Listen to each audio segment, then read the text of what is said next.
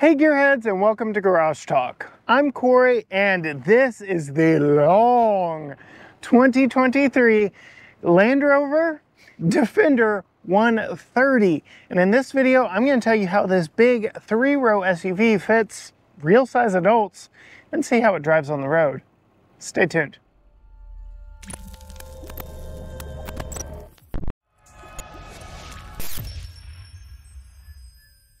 Yes, gearheads, I have finally got a Defender here on my home turf. I first tested a Defender three years ago on my first ever trip for the channel. Video that never really made it to the channel, but I've been just infatuated with this vehicle ever since. That was a 110 model. I got to drive it off-road and test it off-road. And if you know anything about the Defender nameplate, you know this used to be a body-on-frame vehicle out of the war effort from Great Britain. Now we get a unibody vehicle here with still some pretty competent chops. And since we're talking about the 2023 models the long wheelbase, well, not really long wheelbase, but the long version, let's go ahead and pop this hood and talk about what motivates this vehicle. So to get under the hood, pretty simple all told. You just pop it from under uh, the dash and then there's a nice little grab handle to get it open. This is a mild hybrid 3 liter turbocharged inline 6. So all that will come into play as we're talking, especially the mild hybrid part. Uh, but turbo inline six making 395 horsepower and 406 pound-feet of torque as our P400 is spec'd. This is a decent amount of power really for this vehicle. Uh, the 130 rides on the same wheelbase as the 110, just gets a little extra booty space back there in the back. We do have a ZF sourced 8-speed automatic transmission. This does have all-wheel drive with, as the Brits call it a twin speed transfer box, not a transfer case. Terrain response mode with selectable off-road drive modes. Unfortunately, we don't get to test that or the hill descent control, but we can talk about the air ride suspension and different things of that nature and just how this uh, inline six holds up in traffic situations as we drive it around. As we close the hood on this one, we could talk about the styling of it. As I said, the first time I ever drove a Defender was three years ago, and I've just been infatuated with it ever since. And to get one for a full week here on my home turf has just put an infinitesimally big smile on my face. I, I'm just been so happy to get to test this one. We'll start right up here in the front. Now I did air quotes when I said this is a Land Rover Defender because JLR, as they are now known, is kind of doing something interesting with the Land Rover brand in that it is more of a mark uh, like Trail Rated for Jeep. The actual brand of this now is Defender. The model is 130. They're doing the same thing with the Range Rover and the uh, Discovery nameplates. Both of those are becoming their own brands with submodels underneath. We've seen Range Rover, Range Rover Sport, and uh, many different sub models being introduced. So yes, that is what the brand is doing. Land Rover, even though you'll find that badge on here quite a bit, is really not the, the, the brand of this one. Defender is the new brand. Just a little history lesson, modern history lesson for you. But this really does pay homage to Defenders of the past, even though, yes, like I said, this really has more in common with a Jeep uh, Grand Cherokee than it does a Jeep Wrangler. No longer body on frame. This is a unibody, but it is still quite capable off-road. Unfortunately, uh, we got this under the stipulations that it would not uh, venture into an off-road test. Given that this is the longer wheelbase one, I, I don't hold as big a grudge as I would if I had gotten a 110 or a short wheelbase 90. Uh, we'll go ahead and talk about the off-road chops of this one before we go any further into the styling uh, because we do have the adaptive air ride suspension with three ride heights. You get the entry exit ride height and the normal ride height, which is where we are right now, and then the off-road ride height. In normal suspension, we get eight and a half inches of ground clearance, but we can max out at 11 and a half. So quite the jump there. The standard approach angle is 30.1 degrees with a max of 37.5. We have a 24 and a, a half uh, degree departure angle, even with all that extra space hanging off of the back back there, still an impressive rear departure angle, which is better than something like an off-road midsize pickup truck in the GMC Canyon AT4 we've already tested. At its max, we get a 28.5 degree departure angle, 22 degree breakover, and 27.8 in its max ride height. Again, this gets the same wheelbase as the 110, we just get a longer back end back there in the back. This does have a maximum water wading depth of 35.4 inches, and we'll show you a cool feature about that on the inside. Let's talk about styling. Very uh, boxy, rugged, uh, squared off look that does rival that of the Ford Bronco. But again, this is more Grand Cherokee than it is Wrangler or Bronco uh, because of how it is designed, but it definitely gives that rugged off-road appearance while still paying homage to the original small details like this right here. Uh, this is plastic. It is not meant to step on, but it pays homage uh, to the diamond plating that used to be on the hoods of previous Defenders that allowed you access up onto the roof of the vehicle. We get all LED lights up front, LED headlights, LED running lights. I really like the halos with those uh, squares. That is kind of a repeating theme as we go throughout. And being that this is a British car, we get front and rear fog lights. We'll talk about that as we get around to the back. Looking down here, uh, again, we were talking about ground clearance and approach angle and all that. We do have a lot of plastic up front. That is gonna be the first point of contact. Uh, but again, with that air ride suspension, we get a lot of room to play around with. This one does have headlight washers. Again, uh, going to this luxury off-road uh, mindset that this vehicle has. Headlight washers, we have a heated windshield, all kinds of uh, different uh, tech on the side of it uh, to make it a comfortable and luxurious off-roader. Uh, Holly described it, I'll, I'll give a little preview to her review of it as kind of a posh off-roader. And I, I, don't disagree with that assessment. As I put the uh, camera down on the tripod here, uh, I do just want to call out some interesting features here on the side. We get fender vents that are actually real and functional. I can see air coming through them, so that's a nice touch as well. But while I've got this sitting here and running, I did want to hop in and show you the different ride heights of this vehicle because with this air ride suspension works rather quickly I'm gonna go ahead and put it in its max ride height and you can see just how quickly it lifts up and how much taller this vehicle really is now that we are in our maximum ride height. And this thing really does stand up on its toes. I did not realize how tall it was until I tried to get out of it in this situation. And then I can go ahead and hit that button twice and drop it down into its entry exit ride height, which again, it does very quickly and quite a bit. Uh, given how long this vehicle is, it really does look more like a minivan uh, when it is in its lowest position, which is what we are in here. It just seems so low down to the ground, but makes getting in and out of it very easy. And as a luxurious three row vehicle, it has made it very easy for like uh, my family to get in and out of all three rows. So I did want to show you that right there. It did not change the speed of the camera whatsoever uh, to show you how quickly this vehicle goes up and down. Our model does have the 20 inch uh, wheels here on this one, uh, wrapped in a Pirelli Scorpion Zero tires. So these are two 55 60 R20 with this five split spoke design wheel.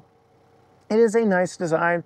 Uh, you can get Steelies on Defenders. I know that's what everybody wants, but uh, these are a really nice, classy look.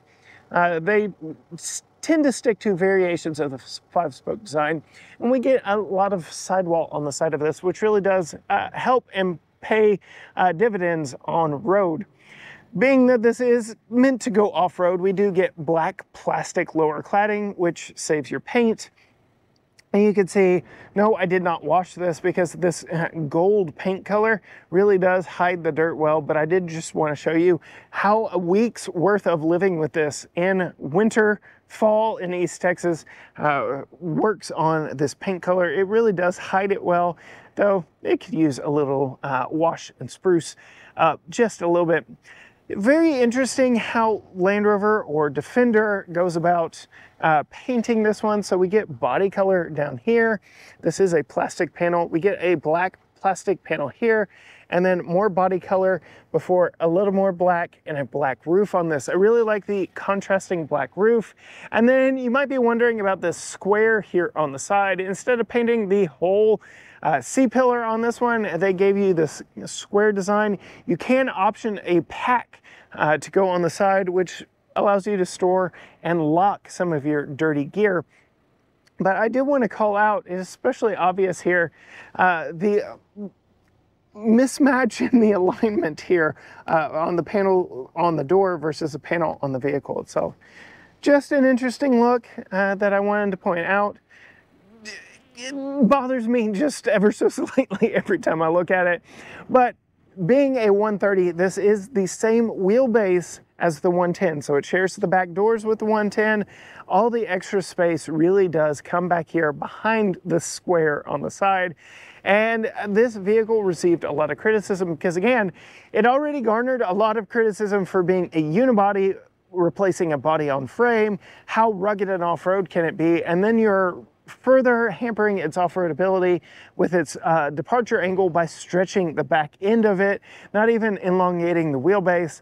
And it, it just caught a lot of criticism for that uh, design choice moving forward, but the craze with usable three-row vehicles really has picked up. Again, comparing to Jeep Grand Cherokee, this really does compare very favorably against the Grand Cherokee L a vehicle with a very off-road heritage background that has increased uh, with a longer wheelbase and a third row. Moving forward, you'll see on the inside how this compares to that Grand Cherokee L when we climb back in the back. I really like this design element above all other things. Instead of having a round back end that translates from the side to the back, we just get this sharp hard corner back here. The back end isn't completely flat. You can see there is a little bit of a curve to it, but I just absolutely love how the vehicle stops as you get around to the back. As we come around to the back here, I turned my uh, turn signals off, but I guess we can go ahead and uh, turn them back on by popping inside, get a little peek at what the inside of the vehicle looks like. Hazard button is located up here. I do want to show you what the turn signals look like back here in the back. And because they use both the fog lights and the brake lights on this one, uh, so you really do get a lot of notification for anybody back behind you exactly what you're going to be doing if you put a blinker on but a very cool look. Again, circles and squares working in conjunction with one another back here. We get this hard plastic uh, spare tire cover back here in the back with a body match uh, center section that you can see aligns with the back window. Just the attention to detail on this vehicle. We'll talk more about that when we get inside. We do have the Defender and the P400 badge. That refers to which engine we have. It is the most powerful uh, turbocharged inline six uh, that Defender offers.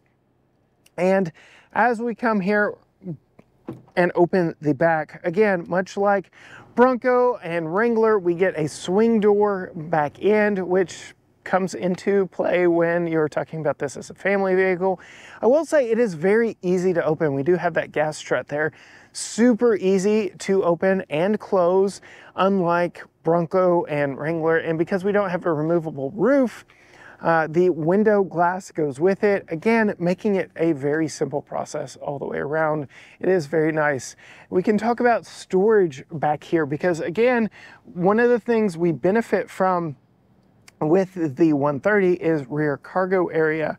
and I'm gonna throw a bunch of numbers at you. Right now, in its configuration with these three, uh, third row seat up, we get 15.3 cubic feet of space. Fold those down, you get 35.8 cubic feet of space. Fold the second row down and you get 76.1.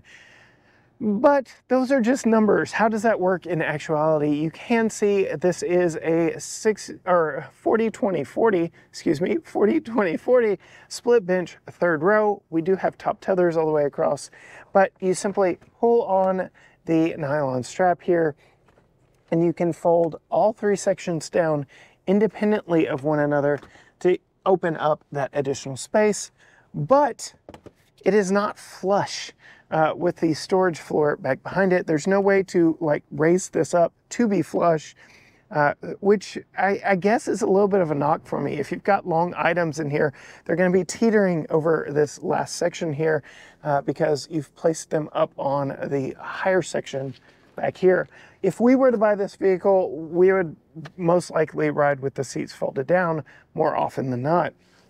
We do have a false load floor and all your jack and equipment down here, down below the seats.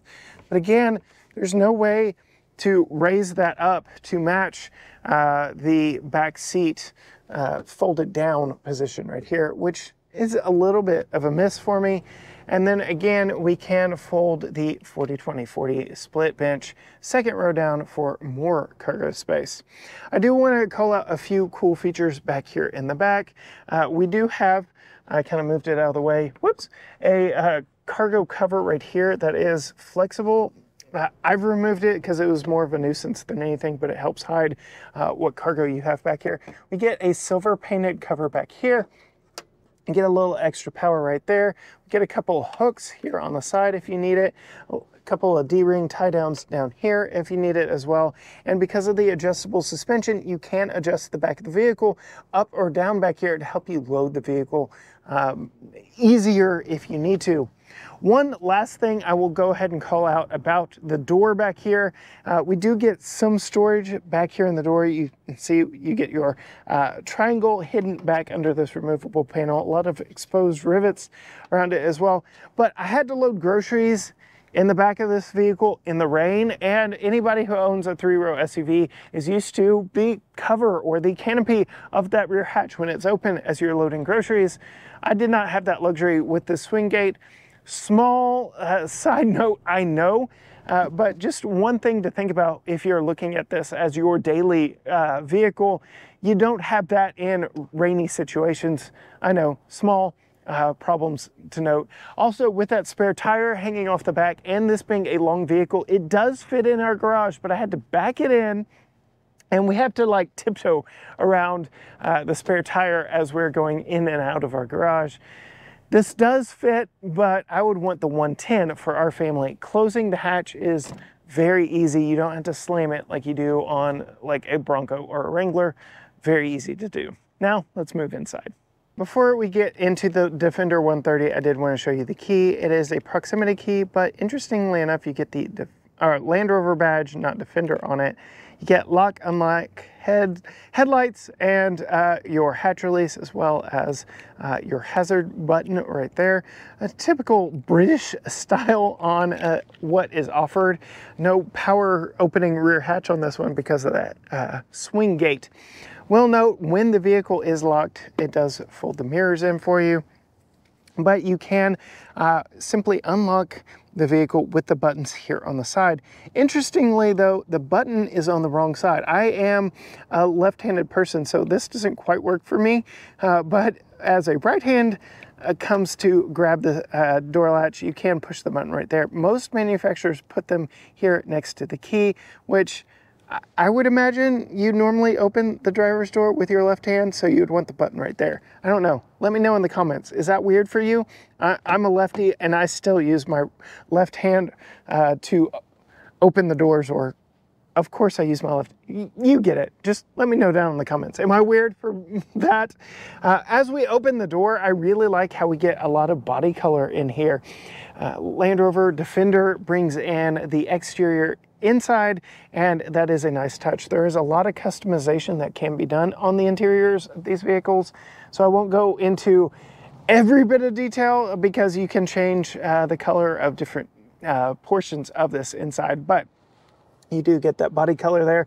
Really like this material here, uh, along with all the exposed rivets. Again, giving that kind of upscale ruggedness to it. We do have the Meridian sound system in here with uh, the, the, speaker grills throughout that are contrasting. Door handle is a little low, but this is illuminated. Uh, that lets you uh, see it at night. You get a little bit of storage here, though it is open. A little bit of storage down here. We get three person memory seats up front, that is both sides. Your mirror controls, power windows that are all express up and down, and your window lockout. I do bring up the Bronco quite a bit in this because of the style of it both inside and out. And one design feature inside that reminds me so much of the Bronco, but is done better here in the Defender are these grab handles uh, right here on the sides of the dash. If you know anything about the Bronco, the air vents are like recessed back behind it, and that just doesn't work all that well. Defender has solved that by putting them very slim, but up here on the dash. I like that a whole lot better. Ford steal this because that opens all this up for storage, and we'll talk more about it as we move along. We do get power front seats up front uh, with uh, adjustable side bolsters so you can give yourself a nice warm hug with the seats and a four-way lumbar. Very nice seats. They are heated, they are ventilated, and uh, they are very comfortable. Black leather up here in this one, no contrasting stitching, so they are a little dull to look at, but they are very comfortable to sit in. Which brings me into it. Again, we are in our lowest ride height, uh, so it is very easy to climb in and out of this vehicle. You can see uh, we've got dual screens up here, so full digital gauge cluster and a very nice screen right here. I'm gonna put my foot on the brake, push the engine start button, and everything kind of comes to life as we get in here and uh, we'll work our way across the dash uh, as I typically do. Again, we've got all this storage over here, which is a nice touch. We've got leather, leather, or pleather, as the case may be. You get your electronic parking brake right here. You can see way down here by my toes is the uh, hood release. I'm gonna go ahead and open the door because you've actually got this little um, notch here to keep you from popping the hood unless the door is open. Very interesting. Not sure uh, if there's a big problem with that worldwide, but you have that there. As we come out and look at the steering wheel, I love the steering wheel. It is leather wrapped and the leather is so nice in quality. It is very soft and smooth. I've just enjoyed driving this vehicle around. The feeling that it gives me uh, just grabbing the steering wheel. It isn't very thickly padded, but it is comfortable to hold. The rim on it uh, is a good, nice diameter. It just feels like a very nice steering wheel. As we look at the steering wheel, we get these multi-position buttons. So depending on what you're doing in the gauge cluster here, uh, these change and light up accordingly. I'm gonna go ahead and show you. See, now we have a directional uh, pad here because I hit that center section and we can kind of page through some of the information up here. A lot of things can be done uh, to customize it. You can do the map, media, driver assistance, one dial, two dial. Again, lots of things. I won't go into detail on too much of it, but it is very customizable, which you can put up here. And I'm just gonna hit the back button to go back to my trip summary. Your volume roller right here. You have all your uh, driver assistance or cruise control stuff right here. This Interestingly, does not have radar adaptive uh, cruise control, but I'm okay giving that up. Heated steering wheel button right here, and it is a power tilt and telescope. You might have seen it move uh, when I started the vehicle up, but there are the controls for that right there. Full digital gauge cluster. Again, already talked about some of the things and customization you can do there. And then we have a digital uh, infotainment screen over here. I really like this digital informa information infotainment screen. The home screen is very well thought out. We've got all these tiles that you can page through. You can see it relies heavily on Apple CarPlay and Android Auto. We do have wireless CarPlay and Android Auto. In our week with this, I've only had one mishap where it's lost connection. So that's just something to note. Uh, right there. But you've got your navigation, slope assist. You can see how your vehicle is positioned off-road, your compass. So now you can tell exactly where I'm filming right now. Uh, you can slide along. Again, I told you this has water fording, wade sensing uh, in it. So you can know just how much of that, what was it, 34 and a half inches uh, of weight, water wading you've got, but you can turn that on and off. Energy impact, you can see what kind of impact you're having and where that energy is coming from, what it's going to. You see right now I've got the AC on, so that's what it's going to. Four zone climate control on this. We have air quality sensors in here, which is really nice. You can hit this purify button. I will say, just getting into this vehicle, the smell in here, I know this is a test vehicle with nearly 15,000 miles in it, but every time I get in here, it just smells so nice, so premium. It makes me happy just getting in this vehicle. So calling that out because you don't get to see that. Uh, I told you wireless Apple CarPlay and Android Auto, it does a good job of working with multiple phones. My wife and I both have our phones paired to it. It works very well, very nicely. We do get a digital parking button right here, parking camera button. Lots of cameras in this, lots of different angles to view this and attention to detail. So I'm going to go ahead and put my blinker on here. And you can see my blinker is actually flashing on the digital representation. That is the right color of our vehicle here but you can uh, select different camera angles by pressing on the cameras themselves just to look at all the different cameras or you can pan around and look at them uh, from this way hitting the arrow button right here and view all the different camera angles. You can look behind you, in front of you, whatever the case may be, that is a nice touch. Hit that 3D button, that's a quick way to access it. There is an off-road mode that again shows you what your uh, suspension is doing, allows you to see your front tires and see out that front right there. But you do get various different angles here as well. Uh, let's see. Uh, sorry, hit the wrong button. You can hit this button right here and it gives you a, I'm gonna go ahead, and put it in drive and show you that the camera remembers what you drive over. And so once you get enough of your uh, vehicle in motion, it gives you not a live video underneath the vehicle, but it shows you what it remembers seeing as your vehicle drove over it. So that is a very nice touch, but it reminds you that's not live. I also like how uh, it shows you your tires moving on that display as well.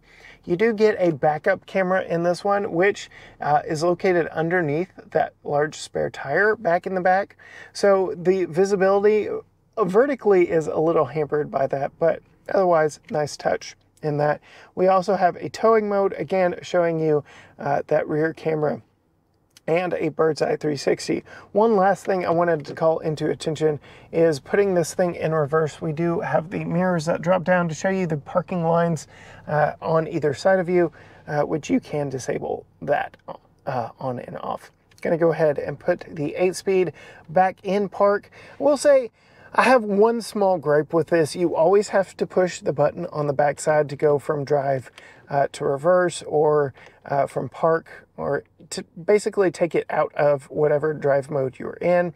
I kind of wish once you put it in to drive or reverse that you can simply just pull or push on it uh, to engage the other drive motion, but you have to actually push the button uh, for that to happen only a small gripe, but once I trained my brain that that's how it worked, I know it's probably a safety thing so you don't bump it and make the vehicle move in an unintended direction, but that is there. So I'm going to go ahead and say, Kia, pay attention to what I'm about to talk about because your dual function climate controls with your infotainment controls could learn something here from Defender on this 130. We get dual function, uh, dual climate up here, and you can see it says push and seat. So this, as it currently is, is my climate control. I push it, and now it is my seat ventilation or my seat heat. So I like this as a dual element use up here and just it works very well. You can see you can turn them both to auto, you can change the fan speed, and then we get a few buttons right here for all your different drive modes. Uh, it is a touch sensitive and it adjusts kind of like off-road presets. Again, uh, like that Ford Bronco with its uh, GOAT modes. Uh, I put it in Wade mode so it, it, lifts my suspension up and gets everything ready. It changes my readout here in the center display showing you exactly what's going on uh, off-road. It disables the engine start stop, but you can see multiple different drive modes that we can put it in and it adjusts all the different off-road things that you would need which is a very nice touch. You can see putting it in sand mode, it drops me back down. Very interesting there, but we're gonna put it back into uh, normal as we go through this. Really like this uh, infotainment unit. You can see we do get multiple different things that we can do through here. Your seats, uh, your climate control. I can actually control the uh, dual zone rear climate from here as well, or I can lock it can also check the climate uh, or, or uh, the air quality in here as well. Launch, uh, low traction control and launch, you can see uh, various different things you can do with that. Just a lot can be done here in the um, center console infotainment. You can see we even have Alexa. Uh, there is voice recognition. If I say Land Rover, hey Land Rover, see, there she is. Um, so again, leaning into the fact that this still is a Land Rover, even if it isn't. Storage in here is very nice. I really like it. This infotainment screen is uh, floating. So I can actually see, there are my fingers on the other side of it, a full open dash here. So you can store a lot of stuff up here. This is slightly rubberized so it won't rattle too bad. We do have a USB-C port up here. That's very nice. This doubles as a handle. You still get that grab handle over there. And then the glove box is typical of a vehicle this size. It is a little vertically challenged, but that's okay. Uh, it does go back uh, fairly deep which is nice. I already showed you the doors, but we get this interesting center console here. You will know on certain Defender models you can option for a front bench seat uh, with a fold down armrest uh, seat back, but here we have the full console. Got open storage here that goes down to the open storage down here with open uh, sides on the side here. Dual cup holders right here. Qi wireless charger that actually does a really good job, but a very small center console opening here. You can see it is weather stripped here because you can option this to be a refrigerator, but when it is not a refrigerator, it still has all the negative characteristics storage wise of it. So it is a little on the small side. Uh, and this lid kind of locks into place so if it's open it doesn't flop around on you. Kind of move past the detent and then you can close it. Some more painted plastic here just to give it a more premium look. I like it. It's rather nice. Up here we get all our controls for our glass roof up above us and then uh, touch sensitive light controls as well the rear view mirror, we don't have the rear view camera mirror in this one, but instead of being mounted to the windshield itself, it's actually mounted to the ceiling. You can see we've got our HomeLink buttons down underneath.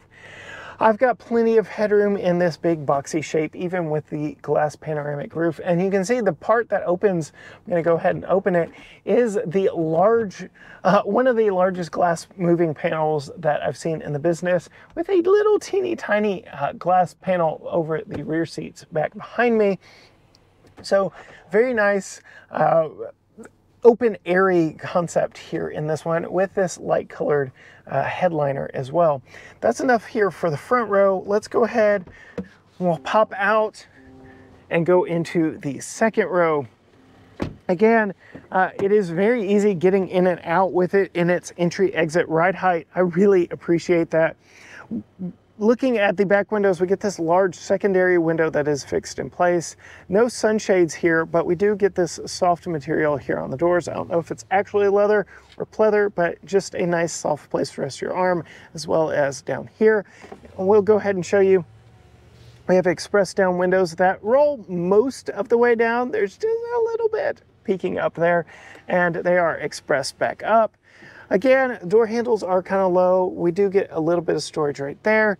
And then we get a three person bench seat back here. Again, 40, 20, 40 split bench. We'll talk more about that here in a second. Do get recline and they do slide forward and aft, which is good uh, for negotiating with rear passengers on uh, legroom. We get the all-weather floor mats in this one, three different pieces. I would prefer maybe if this were one single piece, but again, get kind of that retro callback to uh, Land Rover Defenders of yore climbing in, sitting behind myself, you can see I have got more than enough space sitting behind myself at 5'10". I can slide this forward and sit right behind myself. Still decent amounts of room, but you can see the center section rides with the driver's side. Uh, so I will call that out. Go ahead and slide that back all the way back we get four zone climate control in our model. So we get air vents not only on the back of the center console, which is nice, but not my favorite, but we get them up here as well, just behind our heads. So me as a normal passenger, uh, I get the air like right on the side of my head, which is nice. Works very well for rear seat uh, car seats, especially rear facing car seats, helping keep these kiddos cool in a Texas summer really, really, really like these air vents uh, here in the back of the Defender. Huge kudos uh, to uh, on that one from us here on the channel. We do get uh, mesh map pockets back on the back. That's a nice touch. We get USB-C ports with uh, a couple of poverty blanks back here, just to let you know uh, that we don't have everything possible uh, back here. You can see this one is just a little loose. Very interesting um, call out right there. Center seat, we do have a fold down armrest with a couple cup holders in it. I like how it doesn't flop all the way down. We still get little rubber grippers here, but I can push this button right here and fold the seat back down. It is not the entire seat back, so it is not completely flush. This little bit travels with uh, my seat as I fold it down. But if you needed some long items uh, passed through here, it kind of gives you a flush uh, or even uh, pass through as you do that. I'm going to go ahead and fold that back up. All these headrests do fold down independently of the seat back. So if you are going to fold uh, the seats down, you do actually need to uh, push these buttons. If you want to see what it's like to put the car seat in, absolutely uh, give us a follow, subscribe, whatever the case may be, so you can see that uh, when our family review drops. But now you want to see just how usable that back seat is for real life adults well, I'll go ahead and show you. I also want to call out, uh, while these seats do recline, they are quite comfortable in their upright position. Getting into the back seat, you pull that lever, it tilts and folds the seat back forward. So unfortunately, can't really do that. Sorry, can't really do that with a car seat in place. You're going to be relegated to simply sliding the seat bottom forward. But you can see I do have a modest step in uh, to get back here into the three person rear seat. Before I climb back here, I do want to call out they are individually uh, sectioned off on the seat bottom as well. And we do have lower tethers on the outboard seats to go with the top tethers on the backs of the seats. If you want to do a, a child seat in the center, you're either going to be stealing those lower latches from the outside or doing the seatbelt method. That seatbelt is in the ceiling just above the passenger side headrest. But Let's go ahead, climb back here and show you exactly what this third row seat is like for me at 5'10". So very comfortable back here. You can tell I am sitting up a little bit higher, but I've got plenty of headroom thanks to the uh, glass roof that is back here. It is fixed in place glass and this is a manual sunshade. So uh, you're gonna have to climb back here to open and close it, but just nice to know that that is back here. It kind of helps with the claustrophobic feeling uh, that you might get back here. It is very nice. I'm going to go ahead and show you. Uh, my legs are down. They aren't. My knees aren't up underneath my chin. It is very nice and very comfortable back here. I get nice amenities uh, like air vents back here behind what is a very large C panel, but again, is that box on the side of the vehicle. But air vents right here, USB-C power right here, cup holder right here, a little, I'm gonna come in close to show you, storage net right here, which would work well for my phone, which plugged into the USB-C. So thoughtfulness uh, tied in right there. And then a little hook here uh, for my seatbelt when not in use. Now, uh, the comfort of these seats, it's nice. It's a little more upright um, but there's no way to recline it or move it forward and back from here. It's good, it's nice, I, am not complaining. The center seat though is a little thin on the seat bottom. You can see uh, that's where all of the seatbelt latches are. This is to receive that seatbelt up from the ceiling. This is to use it as a normal seatbelt. I can sit here in the middle as well but I can definitely tell with my booty uh, that the cushion is thinner, but I'm gonna go ahead and show you here. Tucker's seat is all the way back and it is reclined to match uh, his child seat. My knees would be right in the back of the seat. But again, I showed you that these do uh, slide forward and back. So you can negotiate a very comfortable third row here. This absolutely beats uh, Grand Cherokee L for backseat comfort. This really is a good, comfortable third row for real life adults. Though I do imagine putting three people back here might be a little tight. We've had two adults back here, no complaints. Maybe just the getting in and out, which I'm gonna go ahead and show you what it's like to get out before we go take this one for a drive. So here we go. Climbing out, little footstep right there, and oh, we're out of there. Now, let's hop behind the steering wheel, see how this thing drives on the road. All right, getting in, putting it in drive with this goofy gear selector and setting off. I will say the adaptive air ride suspension in this works so quickly that before I'm really out of my parking spot, I'm already up to normal ride height. So that is one big plus of this air ride suspension. It is very, very quick to react and uh, does a very good job of soaking up uh, the pavement underneath, whatever that may be, or even off-road, uh, all the undulations underneath me. Again, I will remind you, this doesn't ride on a longer wheelbase than the 110. It just has a stretched back end. So really, it's just a longer vehicle without a longer wheelbase. So as far as the ride goes on this thing, it really isn't uh, much different than the 110, although maybe just a little bit heavier, which translates to, with that uh, inline six cylinder, pretty peppy ride. You can see I darted out into traffic. This does a great job maneuvering around town. It really is a great vehicle to get in and get out and drive. And I've kind of alluded to these being a little bit more of an urbanite, uh, socialite vehicle than an off-road vehicle. Again, first time I drove this was off-road. It was the 110 very capable off-road, but for this purposes, we're talking about its on-road characteristics, which are superb. And I can't talk about being an urban vehicle uh, without talking the visibility in this one. I absolutely love getting in behind the wheel of this thing getting in, sitting in it, I have got a great view over the dash, over the hood. I feel like I'm sitting up, not down in a box, not down in a hole.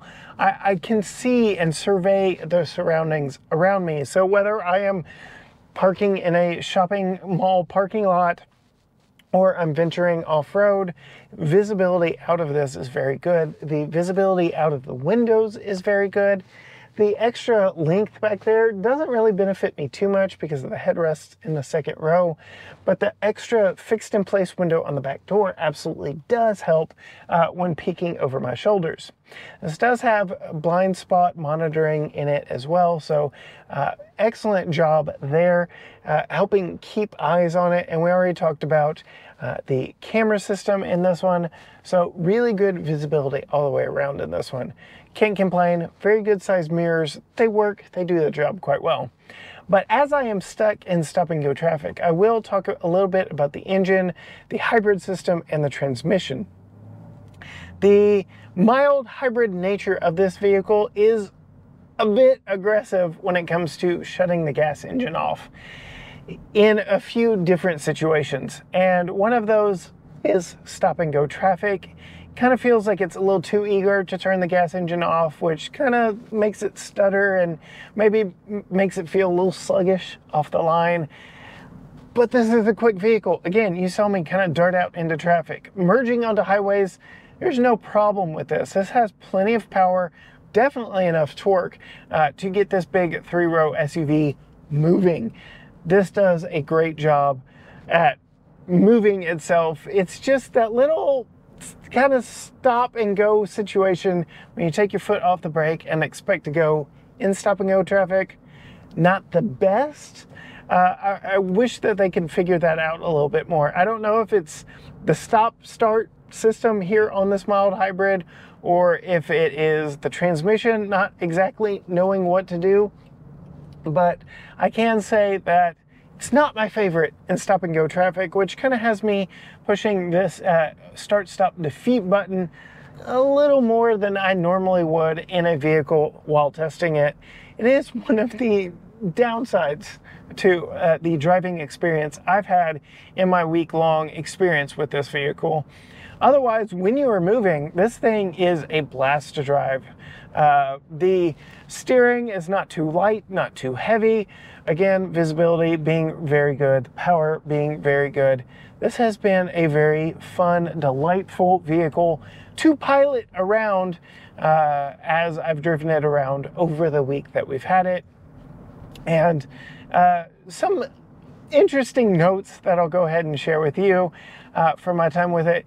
The blinker does sound very mechanical, like it's coming from this area somewhere, but I have a sneaking suspicion, suspicion it's not, that it's simply playing through the center speaker right here, because I've noticed like if I'm on a call or using the voice activation from my Apple device, it like mutes the blinker even though I can still see that the blinker is on. So very interesting thing that I came across uh, in my time driving this one around. Uh, some other fun things uh, that I've noticed in it. Uh, it does have wireless Apple CarPlay and Android Auto. I've seen a couple times on this journey alone, and once prior to this, a little bit of interruption with the connection there. Not quite sure why it went back to the home screen here, uh, even though it shows to still be connected to my phone, which is in my back pocket. But uh, generally, I've had a positive experience uh, with the wireless Apple CarPlay in this. The steering wheel, already mentioned, is really soft. My hand glides over it very easily, but I really like this. It's got to be metallic accents all the way around. It's very nice. Uh, it again just feels very premium in this vehicle. Like it a lot. I'm going to go ahead and put it in its maxed off-road ride height uh, as we get ready to turn on the historic brick streets of downtown Tyler, Texas, just to see how this thing holds up in less than ideal uh, underneath situations. I, I, don't want to say pavement, even though I am going on the brick streets, uh, but it's an off-road ride height, so we'll see what it's like. As we turn up here, it will be very good to note that at higher speeds, it does go ahead and drop me down into a more aerodynamic ride height. But I can tell you, up on off-road ride height, I do feel like I'm on my tiptoes in this. Yeah, this this is not bad. So again, comparing it to, I keep bringing it up, the Jeep Grand Cherokee that we had very recently. This thing compares very favorably. The air ride suspension just feels like it works a whole lot better than that Grand Cherokee. Uh, the overall feel, fit, and finish inside and out feels more premium. And it's not really selling at much more of a premium than the Grand Cherokee or the Grand Cherokee L. So you'll remember we had the two-row uh, 4xE Trailhawk version, and it's stickered for around, I believe, $73,000. This three-row 130 uh, does sticker for a little bit more at 88, but it does start at 73, so it is very close in that realm of pricing. And I would say this is a much more premium experience than that Grand Cherokee. I did joke that the Grand Cherokee is America's Range Rover, Range Rover now being a sister brand of this Defender, both under the Land Rover mark. But uh, yeah, very fun, very pleasant experience driving this Defender 130 around so much fun. I am going to be so sad when this one leaves us. I have found myself grabbing the keys to this vehicle way more than the other vehicle we're testing alongside of it, which itself was a mild hybrid with an inline six. I'll let you guess exactly what vehicle we are testing alongside of this one. Be sure and hit that subscribe button down below and ring the bell so you are notified when our family review of this Defender drops, where I put Tucker's child safety seat in the back and do all the family things, as well as let Holly drive this one, see what she thinks of this. She did have the other British car that we've uh, had in our uh, household uh, since she and I have been married. You can find us on all social media platforms Facebook, Instagram, X, TikTok, YouTube, everything at GT Garage Talk, or you can go to gtgaragetalk.com. But as for me, behind the wheel of the Defender 130, which granted, I want the Defender 110. I have priced one out for four grand cheaper than this. But until next time, gearheads, where am I looking? Bye.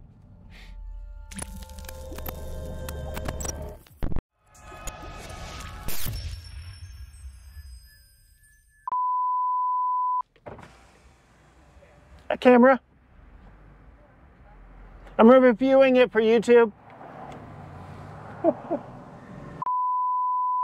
After owning that Mini Cooper, uh, I have decided officially, unofficially for our household, we will not own another vehicle that does not have local dealer representation, of which the nearest JLR dealership is probably two hours away from us.